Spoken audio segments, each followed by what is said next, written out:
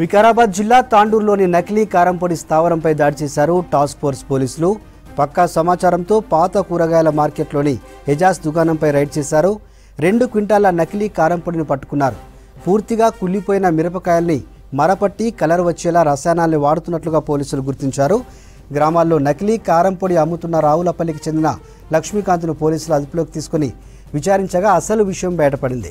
సంతానలేమి సమస్యతో బాధపడుతున్నారా? చింతించకండి. సుమారు తొంభై వేల జంటలకు ఆనందం నింపింది ఓఎస్ఎస్ ఫర్టిలిటీ ఈ రోజే seven eight two five eight nine three six double నైన్కి కాల్ చేయండి. సంతానోత్పత్తి చికిత్సపై భారీ డిస్కౌంట్లు పొందండి. గుడ్ న్యూస్ చెప్పండి. లక్ష్మీకాంత్ ఇచ్చిన సమాచారం ఆధారంగా సోదాలు చేసి నకిలీ కారంపొడి దుకాణాన్ని సీజ్ చేశారు పోలీసులు.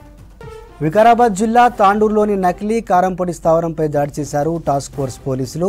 పక్కా సమాచారంతో పాత కూరగాయల మార్కెట్లోని యజాజ్ దుకాణంపై రైడ్ చేశారు. రెండు క్వింటాల నకిలీ కారంపొడిని పట్టుకున్నారు పోలీసులు. పూర్తిగా కుళ్ళిపోయిన మిరపకాయల్ని మరపట్టి కలర్ వచ్చేలా రసాయనాల్ని వాడుతున్నట్లు పోలీసులు గుర్తించారు. గ్రామాల్లో నకిలీ కారంపొడి అమ్ముతున్న రావులపల్లికి చెందిన లక్ష్మీకాంత్ను పోలీసులు అదుపులోకి తీసుకుని విచారించగా అసలు విషయం బయటపడింది. లక్ష్మీకాంత్ ఇచ్చిన సమాచారం ఆధారంగా సోదాలు చేసి నకిలీ కారంపొడి దుకాణాన్ని సీజ్ చేశారు పోలీసులు.